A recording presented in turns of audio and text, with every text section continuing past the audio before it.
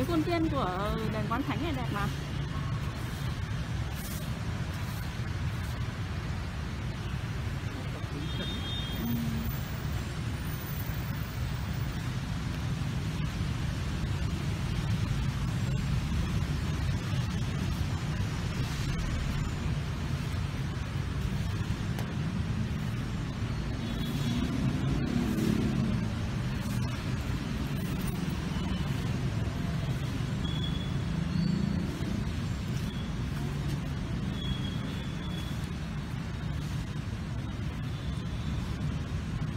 Hay nhỉ? Ứng dụng công nghệ thông tin trong tuyên truyền quảng bá du lịch thử quét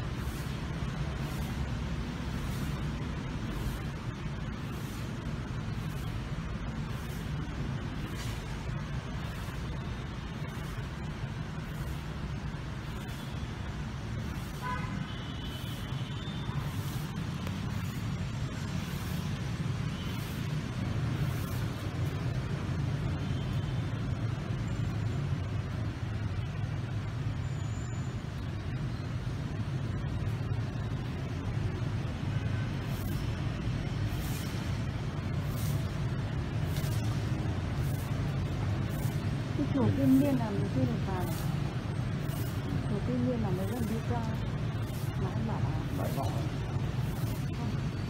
Đi đền ờ, đình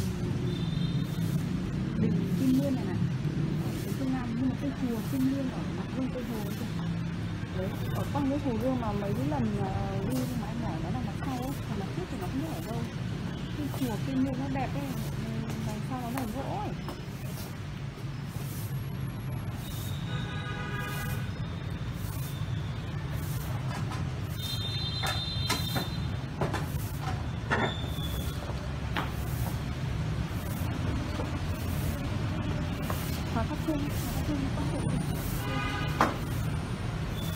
好的，够了。